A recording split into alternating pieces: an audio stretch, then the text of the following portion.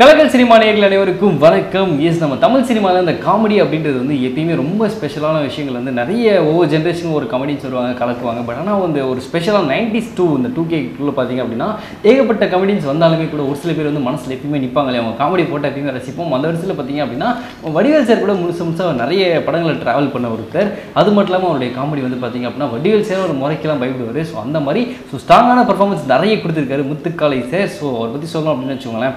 சாதாரண விருதுநகர் அப்படின்ற ஒரு மாவட்டத்திலேருந்து ராஜபாளையம் பக்கத்தில். ஸோ அங்கே பார்த்தீங்கன்னா சங்கம்பட்டி அப்படின்ற ஊரில் திருக்கோதைபுரம் அப்படின்ற ஊர்லேருந்து ஸோ நம்ம கோடம்பாக்கம் அந்த பயணம் தாண்டி நிறைய விஷயங்கள் அழகான விஷயங்கள்லாம் நம்ம கேட்டு தெரிஞ்சுக்க போகிறோம் இன்றையில் ஸோ வெல்கம் பண்ணிடலாம். சார் வெல்கம் சார் வணக்கம். எப்படி இருக்கீங்க? அல்ல நான் வடிவேல் அண்ணன் கூட இணைஞ்ச முதல் படம். தொடுத்துட்டே ஓடும்போது எதுக்காக ஓடுறேன்னு யாருக்கே தெரியாது. எடுக்கும்போது எனக்கும் தெரியாது டயட்டுக்கு தெரியாது வடிவேல் சாருக்கும் தெரியாது. வடிவேலுங்கிற ஒரு ஜாம்பவான் கூட இன்னைக்கு கிட்ட ஒரு எண்பது தொண்ணூறு படம் பண்றதுக்கு காரணம்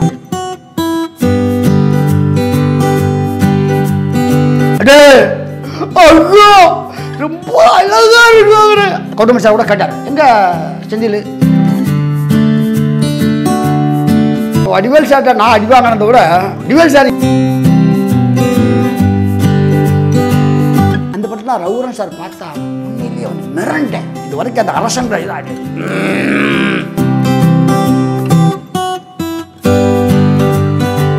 உண்மையிலே கேப்டன் வந்து செத்து செத்து விளையாடுவோமா? ஒரு டைம் வந்து ஒரு பக்கம் நான் நடக்கேன் ஒரு பக்கம் மோடி நடக்காரு. அவர் திரும்பி பார்க்காரு நான் திரும்பி பார்க்க சக்கரம் பார்க்கலாம் என்ன இருக்கும்? Laptop cheque book credit card கலைஞர் சொல்லுவாங்க. தெரியுமா? கம்மாக்கரையில் ஒரு சங்கம் படிக்கிற ஒரு ஊரில் கம்மாக்கரையில் படிச்சு வச்சுக்கிட்ட ஒருத்தனுக்கு இப்படியே கேமரா வச்சுக்கிட்டு எங்கள் வீட்டுக்கு வாங்க. எங்கள் வீட்டு ஹவுஸ் ஓனர்கிட்ட அனுப்புகிறேன் அந்த குடிகாரமாக கிட்டத்தட்ட வந்து ஒரு நூற்றி இருபது படம் நடிச்சிருக்கேன் ஷூட்டிங் ஒரு வாய்ப்பு கிடைச்சு. அதுதான் இளைய தளபதி விஜய் நடித்த ஒரு பாலச்சந்தர் இருந்தனால தான் வந்து ரஜினி சூப்பர் ஸ்டார் வந்தார் ஒரு உலகநாயகன் சிங்கம் த்ரில் நடிக்கும் போது கூட நான் வந்து நான் ஹரிஷாட்ட சொல்லிட்டு வந்தேன்.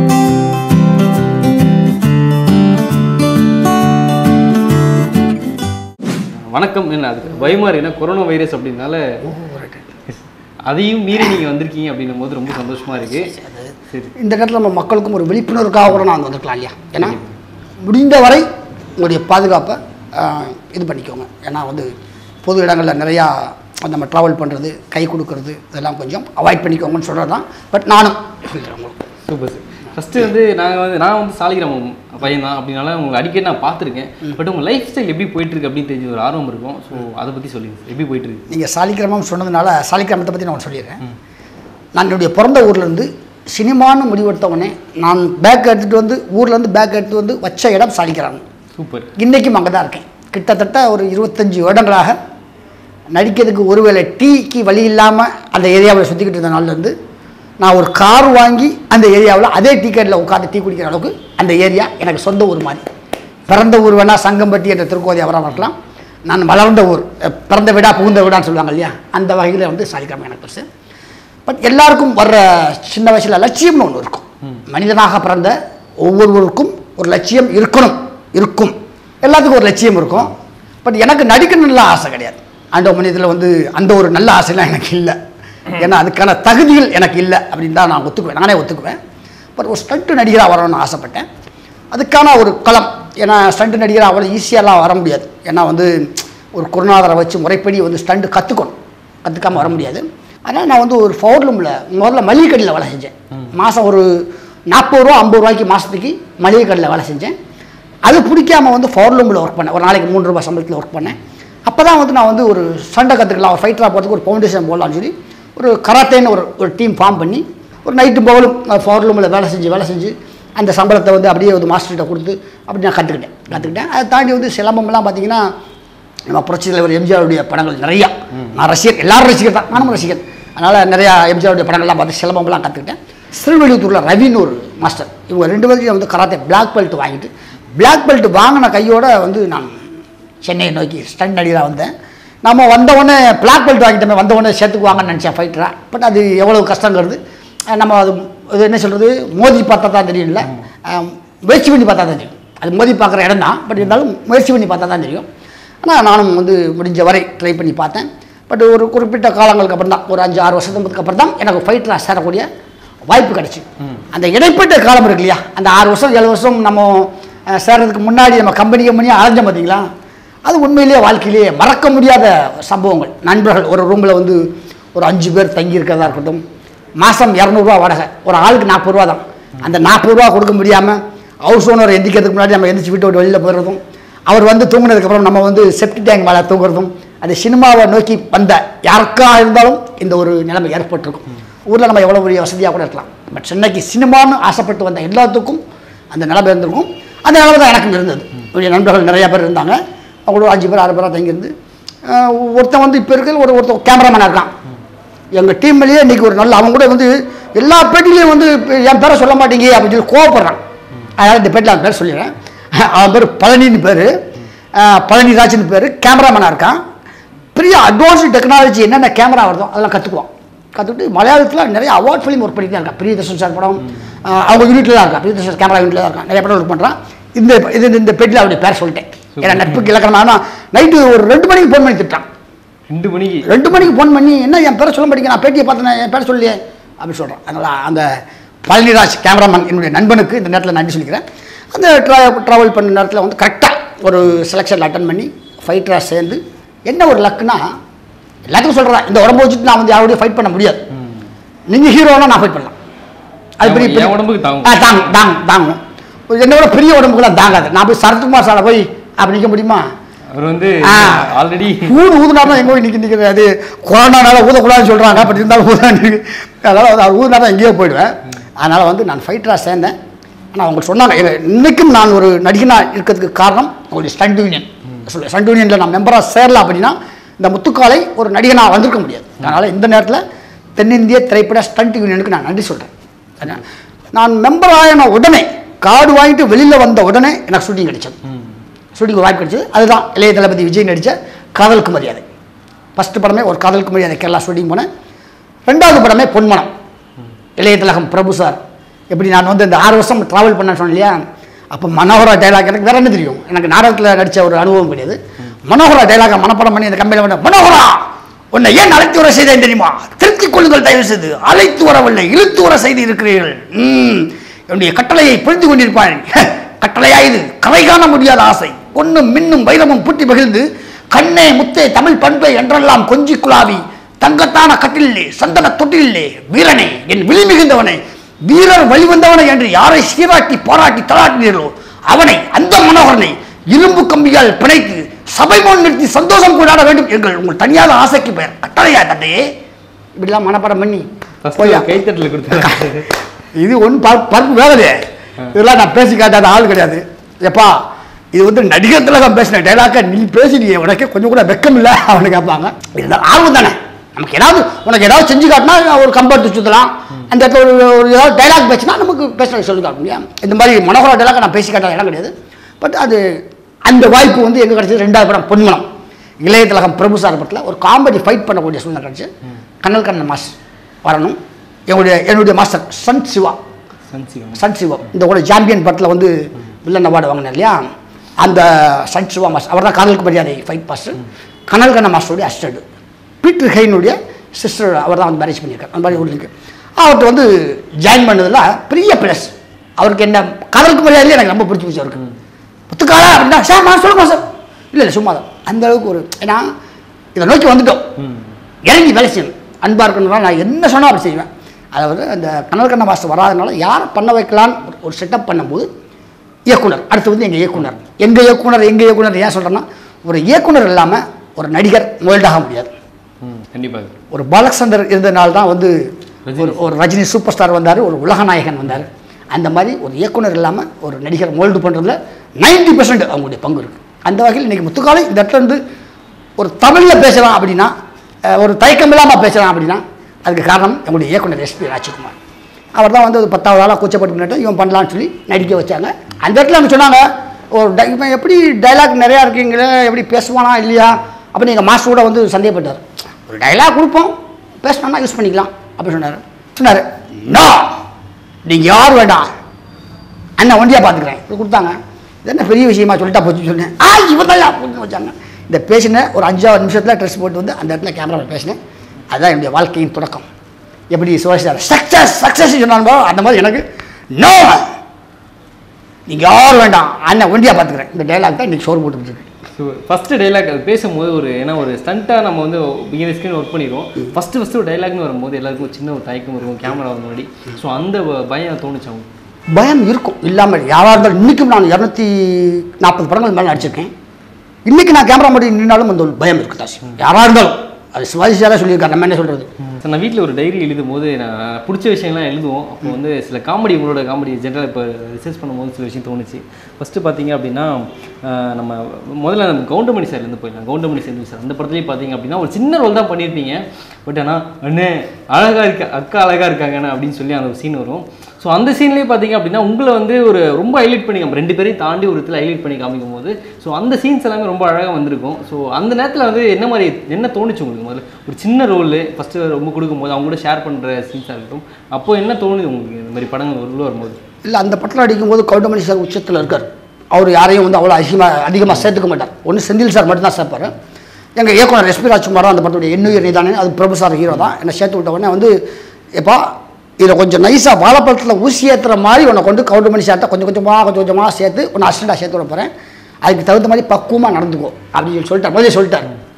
அதனால் நான் வந்து ஃபஸ்ட்டு அந்த மெக்கானிக் செட்டில் ஃபஸ்ட்டே வந்து நிறையா என்ன வரேன் பெரிய ஒரு காமெடி ஆர்டிஸ்டாக யாராக இருக்கும்போது நேராக காலையில் வந்து அண்ணே நான் ஆசீர்வாதம் பண்ணுனேன் ஏன்பா உங்களை நம்பி தான் ஊரை விட்டு வந்துட்டேன். எனக்கு எல்லாமே நீங்கள் தான் அப்படி ஒரு டைலாக் போட்டுருவோம். சென்டிமெண்ட்டாக போட்டுருவோம். அதில் அவங்களுக்கு கூட ஓ சரி பரவாயில்ல பையன் சென்டிமெண்ட்டாக பேசிட்டான். சரி போ. அப்படி விட்டுருவாங்க. அது சீனுக்காக இருக்கட்டும் உண்மையாக இருக்கட்டும்.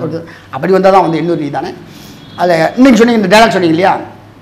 அடே ஐயோ ரொம்ப அழகா இருக்காரு அந்த டைலாக் இன்றைக்கும் பேசப்பட்டுனா கவுண்டமணி சார் தான் நன்றி சொல்லு நான் காமெடி அதுக்கப்புறம் நான் வடிவேல் சார் கூட நிறைய படங்கள் நடித்தாலும் என்னுடைய அடிப்படை எங்கள் கவுண்டமணி சார்கிட்ட தான் வந்தது. ஏன்னா அவ்வளோ பெரிய ஜாம்பவான் ஒரு நாள் எங்கள் டைரக்டர் செந்தில் சாரை வர வேண்டாம்னு சொல்லிட்டு என்னையும் கவுண்டமணி சாரை வச்சு எடுக்கிறார். கவுண்டமணி சார் கூட கேட்டார் எங்கே செந்தில்? எனக்கு உடம்பு சரியில்லை வரல நான் அப்படியா? நீ யாரும் கூட தெய்வம் கூட. இவங்க முடியா எல்லாரும் பேசுவானா?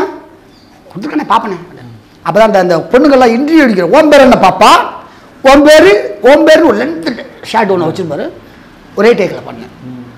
மைண்டில் செட்டில் ஆச்சு டேட் கூட வந்து சொன்னார் ஒன்றும் இல்லை செட்டில் ஆகி பண்ணிடு அவ்வளோதான் ஒரே டேக்கில் பண்ணதுனால கவுண்டமணி சார் சிங்க் ஆகிட்டார் அதுக்கப்புறம் ஒரு ஏழு எட்டு சீன் அந்த படத்தில் கிடச்சிது காமெடி அங்கே இருந்தால் கவுண்டமணி சாரோட அனு அந்த அனுபவம் தான் இன்றைக்கி யார் கூட வேணாலும் இருக்கலாம் ஃபஸ்ட் படம் பிரபு சாரோட அவ்வளோ பெரிய அருவாக இருந்துட்டு ஃபைட் பண்ணதோடு சரி இதில் வந்து கவுண்டமணி சார் கூட செந்தில் சார் கூட நடிச்சதும் சரி மனசை பக்குவமாகிட்டேன் யார் கூட வேணாலும் நடிக்கலாம் அப்படிங்கிற பக்குவம் சூப்பர் ஸோ இந்த இன்டர்வியூவில் பார்த்தீங்கன்னா ரொம்ப அழகாக ட்ரெஸ் போட்டு வந்திருக்கீங்க. பட் ஆனால் படங்கள் அப்படின்னு பார்க்கும்போது வச்சுக்கோங்களேன் உங்களுக்குன்னு சொல்லி ஒரு ஒரு அடிப்படையாக ஒரு விஷயம் வச்சுட்டாங்க.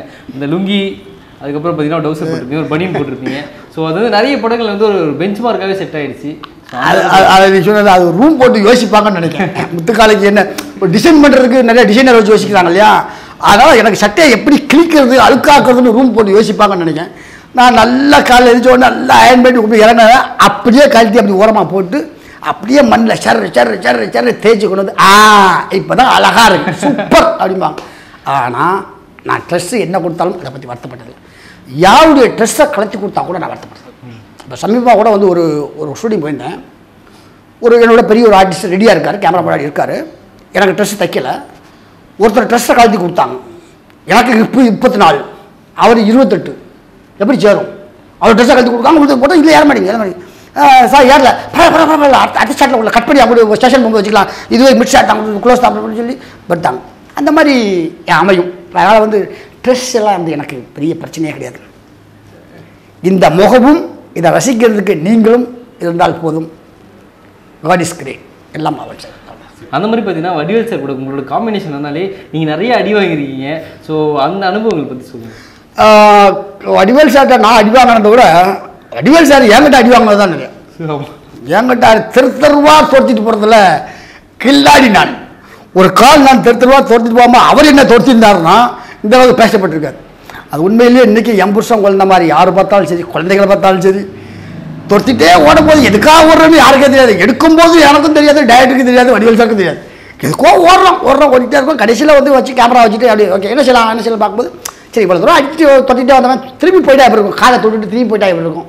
அப்படி யோசிச்சது தான் அந்த சீன் ஒரு செகண்ட் மட்டும் யோசிச்சு காமெடி இன்னைக்கும் பேசப்படுது பதினஞ்சு வருஷம் கழிச்சு இன்னைக்கும் பேசப்படுது சோறு போடுது அந்த படத்தில் இன்னொரு காமெடி இருக்கு இல்லையா? அதே படத்தில் இன்னொரு இதே எம்புசம் கொண்ட மாதிரில செத்து செத்து விளையாடுவோமா? அடுத்து வரலான்னு இப்போ ஒரு நல்ல ட்ரெஸ் போட்டுக்கோன்னு சொன்னீங்க இல்லையா? இப்போ நடிச்சு வாங்கினது இல்லை. வாங்கினது இப்போ. அப்போ நடிச்சதுக்காக இப்போ கொடுத்த காசில் வாங்கினது. இப்போ யாருக்கு யா- இந்த சீனுக்கு யாரை போடலாம்? இந்த செத்து செத்து விளையாடுவோன்னு ஒருத்தர் நடிச்சாரப்பா யார் பேர்? பேர் கரெக்டாக ஆகும்ல ஏதோ முத்துக்கால் என்னமோ சொன்னாங்க. அந்த அந்த நடிச்சார் வரும். ஆ அதுதான் அப்படி இன்னை வரைக்கும் எனக்கு சோறு போடுதுன்னா அந்த காமெடி சூப்பர். அந்த காமெடியிலே பார்த்தீங்க அப்படின்னா ரீசெண்ட் டைம்ஸில் டிக்டாக் வந்து பயங்கர வைரலாக போயிட்டு இருக்கு ஸோ அதில் வந்து இந்த கம்பெனியை கலாய்க்கணும் அப்படின்னு வச்சுக்கோங்களேன் இந்த கம்பெனி முத்துரு அப்படின்னு ஒரு விஷயத்த சொல்லியிருப்பீங்க. அது பயங்கரமாக பேசப்பட்டது. நிறைய பேர் டிக்டாக்லாம் பண்ணியிருந்தேன் பார்த்தீங்க ஏதாச்சும் இது பார்த்தேன். பயமாக இருந்துச்சு. பெரிய பெரிய அரசியல்வாதிகள் ஒரு ஒரு டைம் வந்து ஒரு பக்கம் நான் நடக்கேன் ஒரு பக்கம் மோடி நடக்காரு. அவர் திரும்பி பார்க்காரு நான் திரும்பி பார்க்க அவர் பின்னாடி போகிறார் நம்ம என்ன பண்ணி போகிறேன் பார்த்த உடனே ரெண்டு நாளாக விட்டு விட்டு வெளியவே வரல. யார்ட்ட அடி வாங்குறது? அந்த மாதிரி அப்பப்போ எதையாவது போட்டு டிக்டாக்கில் போட்டு கொலை போட்டுருவாங்க பட் ஒரு பக்கம் பப்ளிசிட்டியாக இருந்தாலும் இந்த டைமில் சொல்கிறேன் ஒரு நல்ல விஷயத்துக்கு நீங்கள் பயன்படுத்து ஒரு நல்ல செய்தியை நல்ல விஷயத்துக்கு பயன்படுத்திக்கிட்டா எங்களுக்கு பேமிலி நாங்கள் அடி வாங்குற அளவுக்கு நாங்கள் பெரிய ஆள் கிடையாது. நாங்கள் வச்சிருக்கிறதே ஏதோ ஒரு ஒரு- டீ ஃபிஃப்டியோ ஒரு சாம்போ இல்லை ஒரு ஸ்கூட்டி பப்போ இல்லை ஒரு பழைய காரோ அது உடஞ்சி வச்சுனா யார்கிட்ட போய் கேட்குறது? அதனால் நீங்கள் அடிங்க. ஒரு ஒரு பத்து ஆடிக்காரன் அவனிக்காரன் வச்சவங்களாம் போய் அடிங்க. எங்களை மாதிரி ஆள்லாம் வந்து ரொம்ப அடிக்காதீங்க இதுக்கப்புறம் விஜயகாந்த் சார் படத்தில் ஒரு படத்தில் வந்து நீங்கள் சும்மா நடந்து போயிட்டே இருப்பீங்க. ஹீரோயின் வந்து உங்களை இடிப்பாங்க. நீங்கள் யார் இடிக்கிறானே தெரியாமல் சவு கவுந்து கவுந்து விழுவீங்க இல்லையா? ஸோ அதில் பார்க்கும்போது ஒரு நீங்கள் வந்து ஸ்டண்ட் பழகிருப்பீங்களோன்னு சொல்லி தோணுச்சு. அதுக்கப்புறம் உங்களை ஹிஸ்ட்ரி எடுத்து பார்க்க தான் தெரிஞ்சு ஸோ அதில் வந்து நீங்களே ரொம்ப கஷ்டப்பட்டுலாம் விழுந்திருப்பீங்க அதில் அடிப்பட்ட அனுபவங்கள் இந்த மாதிரி ஏதாவது இருக்கா?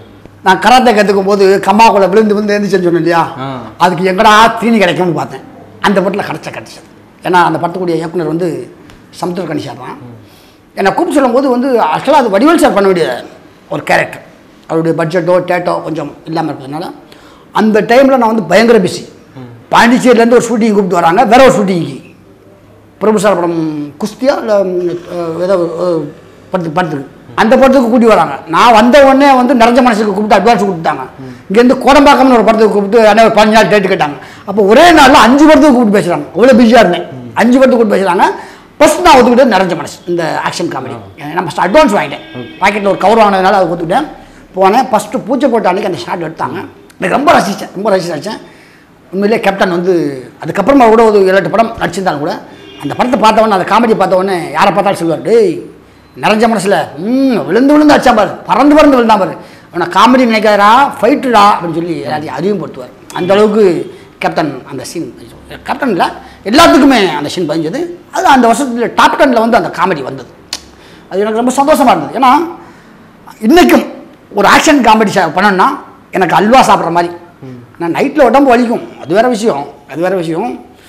இருந்தாலும் ஆக்ஷன் காமெடி பண்ணுறதுக்கு கரும்பு தின்னா கூலி ஆளுங்கிற மாதிரி எனக்கு நல்லா பண்ணேன் நல்லா பண்ணேன் எனக்கு நிறையா நான் பண்ண படங்கள் ஒரு நூறு படம் ஆக்ஷன் காமெடியாக பண்ணேன் ஸோ ரகுவரன் சார் கூட ஒரு படம் பண்ணியிருப்பீங்க வடிவச்சோட காம்போவில் ஸோ அந்த படம் வந்து எப்படின்னா அந்த காமெடி ட்ராக்லேயே நல்லா இருக்கும். ஃபுல்லாக பார்க்கும்போது ஸோ உங்களோட ட்ராக் வந்து கூடவே ட்ராவல் பண்ணிங்க ஃபுல்லாக நீங்கள் ரெண்டு நீ ரெண்டு பேர் தான் தனியாக இருப்பீங்க.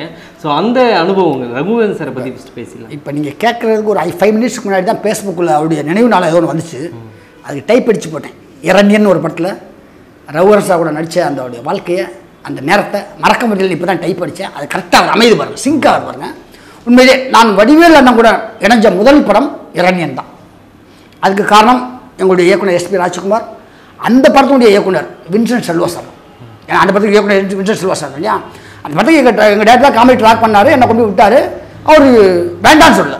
இல்லைன்னா வந்து வடிவேலுங்கிற ஒரு ஜாம்பாவான் கூட இன்னைக்கு கிட்ட ஒரு எண்பது தொண்ணூறு படம் பண்ணுறதுக்கு காரணம் அந்த இரண்யன்னு ஒரு படம் அந்த படத்துடைய இயக்குனர் வின்சென்ட் செல்வா சார். அந்த படத்தில் ரவுரன் சார் பார்த்தா உண்மையிலேயே வந்து மிரண்டேன். இது வரைக்கும் அந்த அரசங்கிற இது அது லுக் அப்படி அந்த ஃபுல்ட்டை ஒழிட்டு அப்படி திரும்புகிற ஸ்டைல் பா. இன்னொரு நடிகன் பிறக்கிறது கொஞ்சம் கஷ்டம். அந்த அந்த அளவுக்கு இன்வால்வ் ஆகி அதில் ரெண்டு மூணு ஷாட் வந்து அவர் காம்பினேஷன்லேயே வரும். ஒரு நாலஞ்சு ஷாட் அந்த நாங்கள் பெல்லு ஓப்பனிங் ஷாட் ரவுரன் வர ஷாட் இந்த பெல்லு அடிச்சுட்டு Bell stay. பெல் அடிச்சு சேவ் பண்ணுறது ரெண்டு மூணு ஷாட் வரும். அதில் முரளி சார் நடிப்பும் சரி ரகுர சார் நடிப்பும் சரி எக்ஸ்ட்ரானரி எனக்கு ரொம்ப பிடிச்சிருந்தது.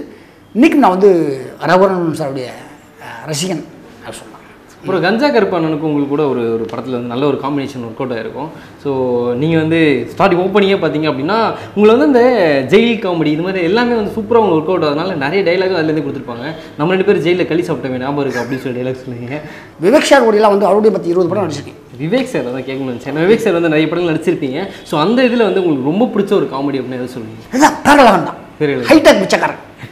ஆ, பிச்சைக்காரன் பேக்கில் என்ன இருக்கும்? Laptop cheque book credit card அந்த சொல்கிற ஸ்டைலு அது எனக்கு என்ன? ஏவிஎம்மில் கார்பெண்டராக வேலை செஞ்ச ஒருத்தன் பதிமூணு ரூபாய்க்கு ஏவிஎம் தயாரித்த பேரலகன் சிவாஜி ரெண்டு படத்தில் நடித்து ரெண்டு நூறு நாள் சீல்டு வாங்கி வீட்டில் வச்சுருக்கேன். நீ இங்கே ஊரோட சினிமா நடிக்க போய் என்னத்தை பெருசாக சாதிச்சேன்னு சொல்லுவாங்க இல்லையா? இதுவே என்னுடைய சாதனையாக நான் நினைக்கிறேன். சிவாஜியில் கருப்பு பணம்னா என்ன? கருப்பாக இருக்குமா சிவப்பாக இருக்குமான்னு கேட்டதுனால ஒரே ஒரு கேள்வி தான் சங்கர் சாருக்கு நன்றி சொல்லணும். ப்ளஸ் வந்து புலிகேஷில் நடித்ததுனால வந்து எனக்கு இந்த சிவாஜி கிடைச்சது. கலைஞர்கிட்ட ஷீல்டு வாங்கினேன். ஒரு டைலாக் தான் பேசினேன். எனக்கு வந்து அதிர்ஷ்டவசமாக ஷீல்டு வாங்கணும்னு கொடுத்தாங்க. கலைஞர்கிட்ட ஷீல்டு வாங்கினேன். கிடைக்குமா கம்மாக்கரையில் ஒரு சங்கம்பட்டிங்கிற படிக்கிற ஊரில் கம்மாக்கரையில் பட்டி அடிச்சுட்டு இருந்த ஒருத்தனுக்கு சிவாஜின்னு ஒரு படத்தில் நடிச்சு கலைஞர்கிட்ட ஒரு சீல்டு நூறு நாள் சீல்டு வாங்குறப்படி உட்காந்து சிரிக்க அந்த பக்கத்தில் சூப்பர் ஸ்டார் ரஜினி இந்த பக்கத்தில் கலைஞர் இந்த பக்கத்தில் அண்ணன். ஹேன்னு ஒரு சீல்டு கிடைக்குமா? இதுதான் வாழ்க்கையில். காசு பணம் இந்த கொரோனா வந்திருக்கு. நீங்கள் எத்தனை கோடி கொடுத்தாலும் காப்பாற்றுவாங்களா காப்பாற்ற முடியாத ஒரு நோய். தவிர்க்க முடியாத ஒரு அரக்கன் உள்ளே வந்துட்டான். காப்பாற்ற முடியாத ஒரு நோய். இருந்தாலும் நம்ம மன திருப்தியாக சில பதிவுகள் பண்ணிட்டு போகிறோமே அப்படிங்கிற ஒரு சந்தோஷம். ஸோ இப்போ வந்து இந்த இப்போ யூடியூப்லலாம் பார்த்தீங்க அப்படின்னா எங்களோட சம்பளம் இவ்வளோவா இவங்க இவ்வளோ சம்பாரிச்சாங்களா இவங்களே ரைட் அப்படின்னு நிறைய கேள்விகள் இருக்கும். ஸோ நீங்கள் சீன்ஸ் அந்த டைலாக் சொன்னாலும் சொல்கிறேன் நீங்கள் வந்து சிவாஜி படத்தில் டைலாக் சொல்லியிருப்பீங்க. இந்த மாதிரி கருப்பு முன்னா கருப்பா சார் வந்து சொன்னீங்க இல்லையா? அந்த மாதிரி நீங்கள் உங்கள் வீட்லேயும் கருப்பு பணம் இந்த மாதிரி ரைடுகள் இந்த மாதிரி விஷயங்கள் ஏதாவது நடந்திருக்கா? இப்படியே கேமரா வச்சுக்கிட்டு எங்கள் வீட்டுக்கு வாங்க. எங்கள் வீட்டு ஹவுஸ் ஓனர்கிட்ட அனுப்புகிறேன் ஒரு காலம் அவர் வீட்டு கருப்பணம் வச்சுருக்காரான்னு தெரியல. நான் இந்த வாடகை வீட்டில் தான் இருக்கேன். இன்றைக்கும் சொல்கிறேன் அடுத்த மாதம் வாடகையை அந்தந்த மாதம் பத்தாம் தேதிக்கு மேலே தான் வந்து பிளான் பண்ணுவேன். அந்த அளவுக்கு தான் நான் இருக்கேன். என்கிட்டயாவது கருப்பு படம். அப்படின்னா என்னென்ன கருப்பாக இருக்குமா சிவப்பாக இருக்குமா அப்படின்னு கேட்கக்கூடிய நிலைமை தான் இருக்கேன். இப்பயும் அதே தான். ஆமாம் ஆமாம் எனக்கு என்ன ஒரு சின்ன வயசுலேருந்து ஒரு கௌரவம்னா காலையில் என் பையனுக்கு பால் வாங்குறதுக்கு காசு இருக்காது. இன்றைக்கி கூப்பிடுவாங்க. இதுக்கு வாங்க அதுக்கு வாங்க இந்த படம் வாங்க கூப்பிடுவாங்க ஒரு ஒரு நான் ஒரு ஒரு குறிப்பிட்ட ஒரு எல்லையை வச்சுருக்கேன். இது இதுதான் பண்ணணும் இது இது பண்ணக்கூடாது. அதுக்கு ஒரு சின்ன உதாரணம் சொல்கிறேனே நான் குடிகாரமாக கிட்டத்தட்ட வந்து ஒரு நூற்றி இருபது படம் நடிச்சிருக்கேன். நீ சொன்னீங்க இல்லையா? சட்டி அழுக்காய். அதெல்லாம் அன்பேசத்துலாம் பார்த்தீங்கன்னா விடிய விடிய தேப்பார் அந்த அசோசியேட் விடிய விடிய தேப்பார் விடிஞ்சவோ அந்த சட்டி அழுக்காக தேப்பார் அந்த மாதிரி நினச்சிக்கேன். பால் வாங்குறதுக்கு காசு இருக்காது. இந்த இப்போ சொன்னா சிங்கம் த்ரில் நடிக்கும்போது கூட நான் வந்து நான் ஹரிஷாட்ட சொல்லிட்டு வந்தேன். சார் நான் குடியை விட்டு இப்போ கிட்டத்தட்ட ஒரு ரெண்டு வருஷம் மூணு வருஷம் ஆக போகுது. உங்களுடைய படம் பெரிய படம். உங்கள் படத்துலையாவது நான் ஒரு நல்ல கேரக்டர் கொடுத்தீங்கன்னா அடுத்து உள்ள இயக்குனர்கள் அதே மாதிரி ஒரு நல்ல கேரக்டர் குடிக்கிலேருந்து முத்துக்காலைக்கு வேறு கேரக்டர் ஒரு ட்ராவல் பண்ணுறதுக்கு ஒரு வாய்ப்பு இருக்கும். இனிமேலாவது எனக்கு ஒரு குடி இல்லாத ஒரு கேரக்டர் கொடுங்க சார் அப்படின்னு சிங்கம் த்ரீல நடிச்சிட்டு ஹரிஷார்ட்ட கேட்டேன். எல்லாரும் பயப்படுவாருன்னு சொன்னாங்க. அது பெருசாக பயப்படுவாருன்னு நம்மகிட்ட கேட்குறதுல என்ன இருக்குது சார் எனக்கு இது வேணும் சார் கொடுங்க சொன்னேன். கண்டிப்பானே இனிமேல் அடுத்த படத்தில் உங்களுக்கு நல்ல வேஷம் கொடுக்கும் சார் அந்த மாதிரி. ஒர்க் பண்ண ரவிக்குமார் சாராக இருக்கட்டும் பாலா சார் பிதாமன் பாலா சாராக இருக்கட்டும். இந்த மாதிரி நம்ம ஒர்க் பண்ண டேட்டா நம்மளுடைய தேவைகளை கேட்டுக்கலாம். தப்பு கிடையாது. அதனால் கருப்பு பணங்கிற மேட்டரை மட்டும் என்ன கட்டாதீங்க. என்கிட்ட இல்லை.